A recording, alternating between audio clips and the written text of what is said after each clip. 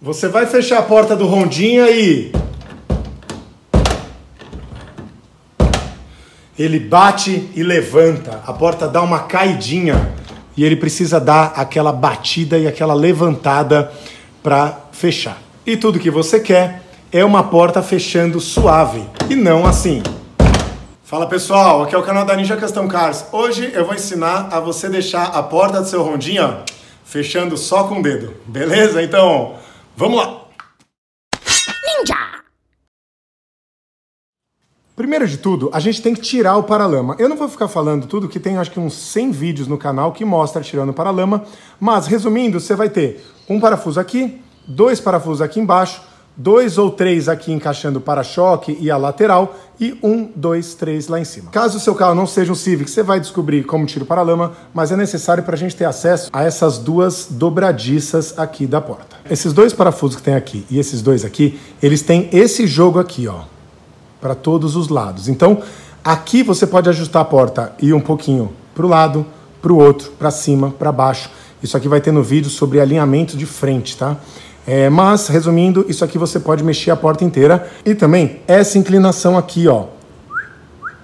E é isso que nós vamos fazer hoje. Com o tempo você vai pegar a prática, mas é um jogo de tentativa e erro é, esse acerto. Então, nós vamos fazer o seguinte. Nós vamos abrir a porta, apoiar ela com o macaco, nós vamos compensar essa distância, o quanto ele, quando abre, ele vai para baixo. Eu tenho um macaco aqui, você pode usar qualquer macaco, mas o mais importante, Use muita proteção aqui. Esse aqui é uma luva de fazer jateamento. Então, ela já tem a borracha, o máximo que você puder fazer de almofada, melhor para você não marcar a sua porta. Em seguida, nós vamos abrir a porta. Veja como ela, veja o quanto ela cai, ó. Pum. Tá? Pode abrir. Nesse primeiro estágio aqui, não importa muito isso. Nós vamos pegar o nosso apoio, colocar aqui por embaixo da porta e primeiramente apoiar a porta. Você vai sentir que ela vai dar uma pequena levantadinha. Você já para. Aí a gente já sabe que a porta está escorada. Em seguida, nós vamos afrouxar esses quatro parafusos. É, no caso do Honda aqui, são, é uma chave 12. Então eu vou afrouxar. Não precisa soltar, basta afrouxar.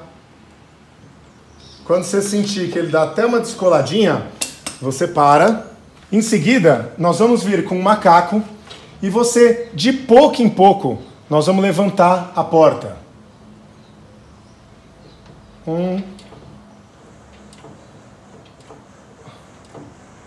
Bem pouquinho.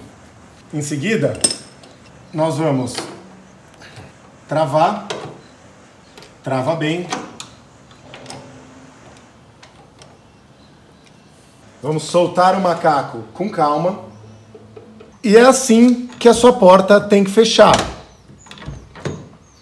Você pode reparar que a mesma linha de abertura é a linha de fechamento. Ele não tem mais essa queda.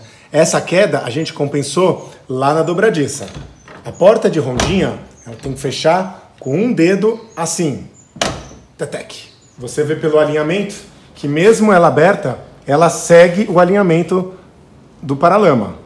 E lembrando que eu fiz esse procedimento de uma vez só, porque eu já estou acostumado o quanto levantar da porta, o quanto abaixar, para compensar essas diferenças. Mas não tem problema, você levanta um pouquinho, nunca forçando, tá? Então você levanta um pouco, trava, fecha, vê se está do seu agrado. Se não, apoia, escora ela de novo, solta os parafusos, levanta mais um pouquinho, trava, vai de pouco em pouco que você vai vendo que ela vai ficar bem perfeita, bem alinhadinha.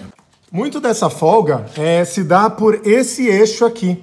É, isso aqui é vendido no AliExpress, etc. É um kit aqui que ele tem dois eixinhos aqui e aqui com arruelas e etc.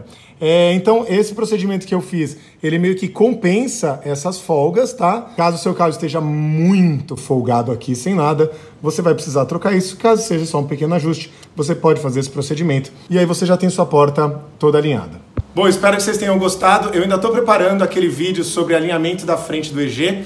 É, isso vai dar um norte para as pessoas que querem fazer todo o alinhamento é, dos rondinhas mais antigos, tá bom? É, então, se você gostou, deixa um like, segue o canal e deixa um comentário que para a logística do YouTube isso ajuda muito o canal a crescer, beleza? Então, muito obrigado. E siga o Instagram da Ninja Custom Cars para acompanhar o dia a dia aqui da oficina.